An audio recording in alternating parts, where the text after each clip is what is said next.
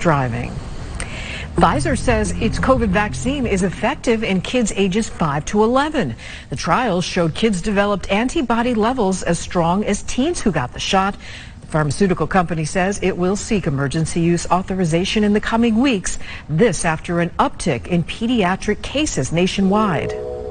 Nationally, however, there's been a significant uptick in children. Um, in August, the week of August 14, the data was 1.4 per 100,000, which is an increase. It's a five-time increase um, to the previous two, three weeks. So that it is, there's definitely an increase nationally for pediatric or pediatric population.